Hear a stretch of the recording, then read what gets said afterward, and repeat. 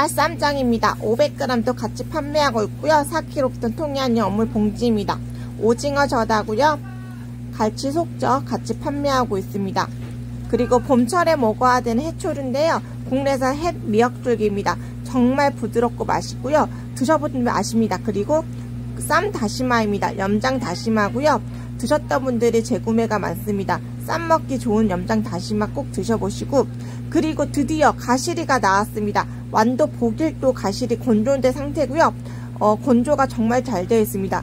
우리가 어릴 때 먹었던 가시리는 된장국에 먹거나 아니면 데쳐가지고 초무침에 먹어도 맛있는 완도 보길도 가시리입니다. 그리고 국내산 꼴뚜기입니다. 국내산 건조 꼴뚜기고요. 250g 그 다음에 두 봉지 이렇게 판매하고 있습니다. 어, 건조 꼴뚜기로 볶아 드시거나 아니면 꼴뚜기로 어, 술안주 하셔도 너무나 맛있습니다.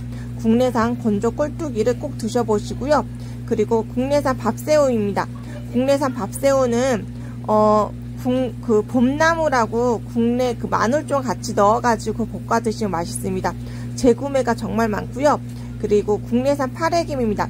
완도 노아도 파래김은 이때 많이 구매를 많이 하고 계십니다. 왜냐면 이때가 해파래김이 나오는 시기입니다. 그러다 보니까 어, 구매가 굉장히 많다고 생각하시면 될 것 같습니다. 완도 노아도 파래김이고요.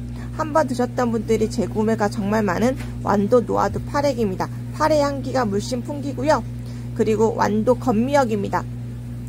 건미역은 어, 정말 우리나라 최고의 건미역이잖아요. 완도하면 건미역이 떠오릅니다. 그만큼 유명하고요. 건조가 잘 되어 있고 국물이 진하게 우러나옵니다. 제가 내일 어, 미역국 끓인 장면을 찍어서 올리도록 하겠습니다. 그리고 건다시마입니다. 완도 건다시마고요.